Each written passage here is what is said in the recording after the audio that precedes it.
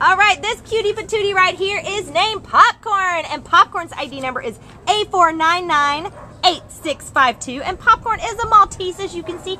Look at that cute little face. And he is about five years old. He came in as a stray on October 1st from Baldwin Park. Now he weighs right under 10 pounds, so this guy can fit in anywhere. And he is what we like to describe as the perfect Disney dog. Well, this little guy will just fit in anywhere. He likes to be in your lap. He likes to walk around. Um, he likes to be cuddled. He was kissing his handler earlier.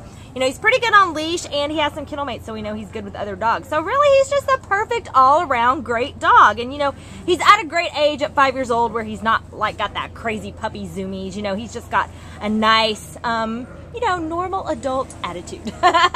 so come on down and meet the awesome popcorn. You can take him home to be part of your forever family. Right, popcorn? He says, yes, yes, yes. He says, let me show you my cute fuzzy ears. Bye-bye.